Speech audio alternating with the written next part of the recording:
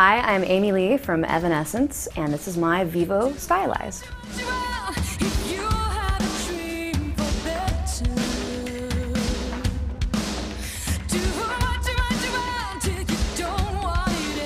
I love fashion. I'm, I'm a creative person, so any real excuse to express myself, I'm, I'm going to use it.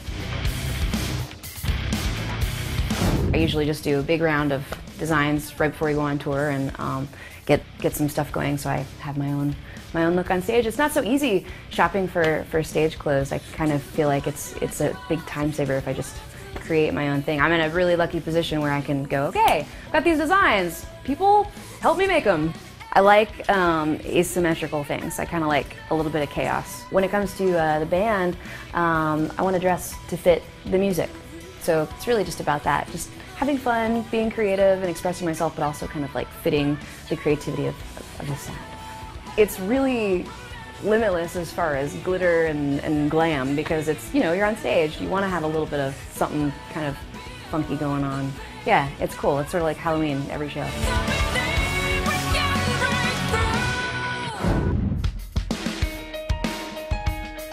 This is a new one I haven't actually worn yet, uh, but I think it's super cool. Inspiration was uh, Zombie Ballerina.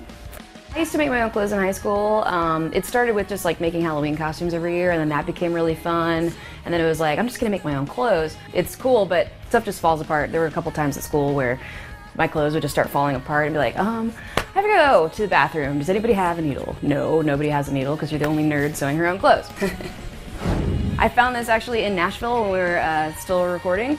It's like, it's not real, but it's like a little foxy tail. But somebody told me you have to make sure and wear it on the side, not on the back, because that means something sexual. I don't know. I'm not really sure.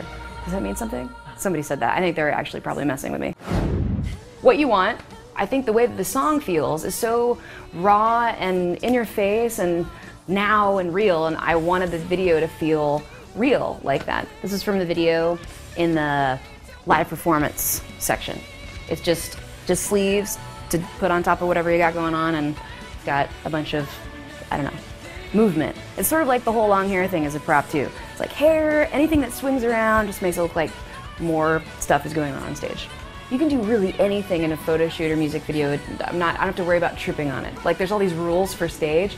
It's got to be like okay, my boob's not going to pop out. I'm not going to stomp on a really, really long flowing skirt and fall on my ass because I've definitely done that plenty of times before. I thought that that was really good because it's edgy, but it's still feminine. You know, you don't want to lose that.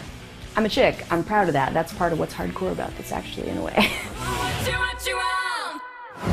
this is a really cool, super basic, but I end up using this basic kind of stuff more than anything at the end of the day.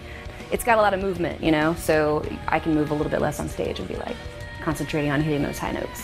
I used to wear corsets a lot more when I wasn't as confident on stage. It's silly, it's like, okay, yeah, you're goth. What really wasn't all about that, part of it, it just makes me feel like you're about to ride a roller coaster and you're strapped in and you're not gonna fall out.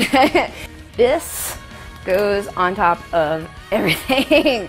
we wore it in the video, we wore it on stage almost every time. I wore it last time I was on TV. Just this perfect thing that makes everything look better. I think in any kind of creation, when you're working on something, you have a vision, it's very specific, but then as you just kind of got to go with the flow. Like maybe it's better if you rip that sleeve off.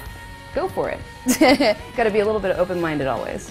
Yeah, this is one of the new designs too. It's okay, one shoulder here, one shoulder free, and it kind of goes to one side and you get this cool thing with a pair of tight pants. It's a really cool feeling creating anything and then watching it actually after all the work happen. Making a record, um, designing something, and then having it come to life, wearing it on stage, watching the performance. You know, you tried something and it, and it worked. That's about it for me, uh, for my VEVO Stylized. It's been fun hanging out with you guys and showing you some of our backstage gear. I'll see you on the road. We're going to be touring a whole bunch now for the next, I don't know, years. So see you out there.